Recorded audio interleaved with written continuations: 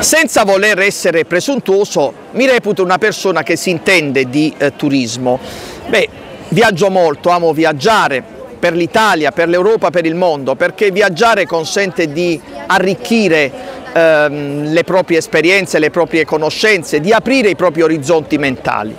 Beh, sentendo le parole di Gianni Azzaro, vice sindaco di Taranto e assessore allo sviluppo economico e al turismo, resto davvero impressionato, resto senza parole, delusissimo, amareggiato.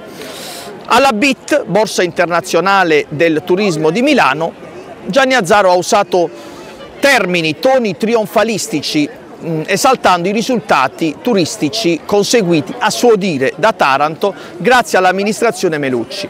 Delle due l'una, o Gianni Azzaro non è affatto in grado di, di comprendere, di leggere i dati, oppure Gianni Azzaro mente sapendo di mentire, prende per i fondelli i cittadini.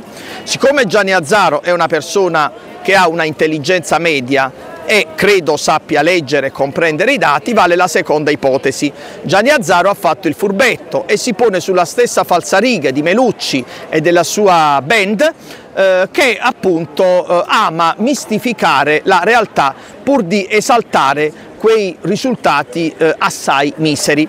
Parliamo di numeri. Allora, per quanto riguarda eh, la eh, crescita degli arrivi, eh, parliamo di un 4%, parliamo del 2023, l'anno di riferimento, un più 4% rispetto al precedente anno 2022 e per quanto riguarda le presenze, ossia i pernottamenti, parliamo di, un, di uno più 0,1. Dunque dati una crescita misera, assai insignificante, percentuali di crescita assai modeste, irrilevanti, parliamo di dati pressoché sovrapponibili, identici quelli tra il 2023 e il 2000, quelli del 2023 rispetto al 2022. Miseri e poveri erano nel 2022, miseri e poveri sostanzialmente sono nel 2023 ripeto, differenze minime, insignificanti.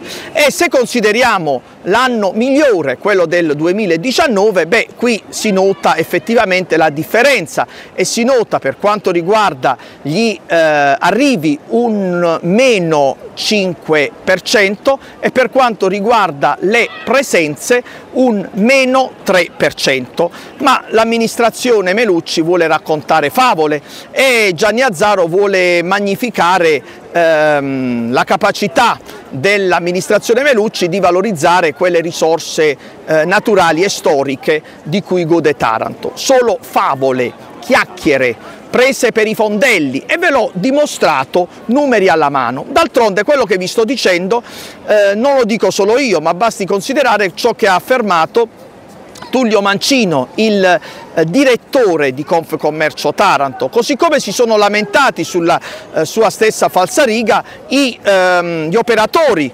commerciali, gli operatori del settore ristorazione, del settore alberghiero del comune, del, che operano appunto a Taranto e hanno parlato di una città, di un'amministrazione comunale che eh, non ha saputo mai eh, valorizzare appieno le risorse eh, per esempio considerando il servizio di accoglienza in occasione delle crociere, un servizio di accoglienza scarso o addirittura inesistente.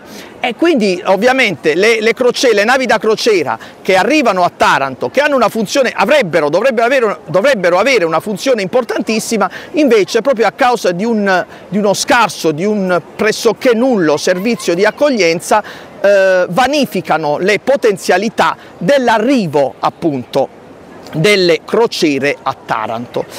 Beh, come dire, questi sono i numeri, numeri che parlano da soli e certamente Taranto città avrebbe dovuto avere un ruolo di capofila, un effetto trainante in termini di crescita turistica anche sui comuni della provincia e così non è stato, anzi forse il contrario. E allora i numeri sono evidenti, sono schiaccianti.